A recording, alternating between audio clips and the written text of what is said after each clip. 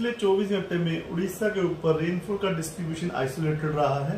जो वर्षा हुई है, भद्रक के चांदवाली में तीन मिलीमीटर वर्षा एक ही जगह पे हुई है। मैक्सिमम हाईएस्ट तापमान जो है, पारालेख मंडी में अड़तीस दशमलव एक डिग्री सेल्सियस दर्ज किया गया है। उसके अलावा भी कुछ कुछ स्थानों पर जो तापमान है अप्रिशिएबली राइज हुए हैं। कल के मुकाबले अगर देखा जाए, और अभी जो है अबव नॉर्मल दो से तीन डिग्री सेल्सियस अबव नॉर्मल चल रहे हैं, ज़्यादातर जगहों पे उड़ीसा में। भुवनेश्वर का अधिकतम तापमान जो है, सैंतीस डिग्री सेल्सियस दर्ज किया गया है, कटक का छत्तीस दो डिग्री सेल्सियस दर्ज किया गया है, और भुवनेश्वर में ट्रेस भी दर्ज की गई है वर्षा ज़ीरो पॉइंट वन मिलीमीटर। ये तो कल का तापमान अब सिग्निफिकेंट वेदर सिस्टम की बात करें तो एक जो ट्रफ जो नॉर्थ छत्तीसगढ़ से नॉर्थ इंटीरियर कर्नाटका तक रन की है, वो अभी एक्सटेंड हो गई है। अभी वो इंटीरियर उड़ीसा से होती हुई उड़ीसा से लेकर ईस्ट सेंट्रल अरेबियन सी तक, जो कि साउथ छत्तीसगढ़ तेलंगाना और कर्नाटका के मध्य से होती हुई जा रही है, समुद्र तल से ज़ीरो नौ किलोमीटर की वजह से।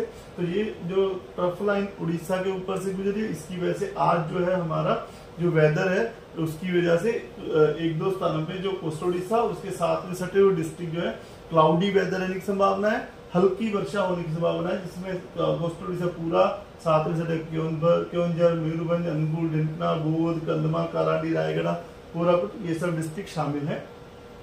इसी का चौदह और पंद्रह तारीख को डे टू और डे थ्री में क्योंझर मयूरभंज बालेश्वर भद्रक, इन सब जगह में हल्की से मध्यम वर्षा होने की संभावना है।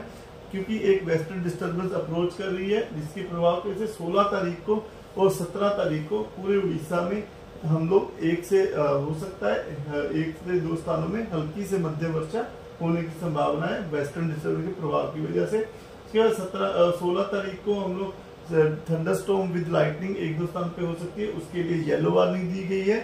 16 तारीख को डे फोर में झारसुगुड़ा सुंदरगढ़ केवंजर मयूरभंज में और 17 तारीख को सुंदरगढ़ केवंजर मयूरभंज डिस्ट्रिक्ट में येलो वार्निंग दी है थंडरस्टॉर्म एक दो स्थान पे लाइटनिंग के साथ होने की संभावना की वजह से।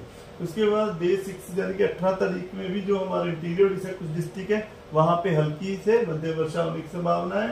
फिर से 19 तारीख को पूरे उड़ीसा पे आइसोलेटेड डिस्ट्रीब्यूशन दिया गया रेनफॉल का। अब बात करें तापमान की तो मैक्सिमम तापमान पिछले कुछ दिनों से देख रहे हैं हम, गर्मी बढ़ रही थी। अभी ये अगले 24 घंटे में अभी भी जो है तापमान दो से चार डिग्री सेल्सियस तक राइज करेगा, जो कि इंटीरियर उड़ीसा में कुछ कुछ स्थानों पे। उसके अलावा, उसके बाद में जैसे कि मैंने बारिश आ रही है, बादल आने की वजह से दो से तीन डिग्री सेल्सियस तक कुछ ज़्यादातर स्थानों पर उड़ीसा में जो तापमान है गिरने शुरू होंगे। ଗଞ୍ଜାମ ସମାଚାର ଆପଣଙ୍କର ଲାଟେଷ୍ଟ ଖବର ପାଇଁ ଲାଇକ୍ ସେୟାର ସବସ୍କ୍ରାଇବ୍ ଏବଂ ଫଲୋ କରନ୍ତୁ ଗଞ୍ଜାମ ସମାଚାରର ଫେସବୁକ୍ ୟୁଟ୍ୟୁବ୍ ଟ୍ୱିଟର ପେଜ୍କୁ ଅଧିକ ତଥ୍ୟ ପାଇଁ ଭିଜିଟ୍ କରନ୍ତୁ ଆମ website W W W dot Ganjam Samachar dot com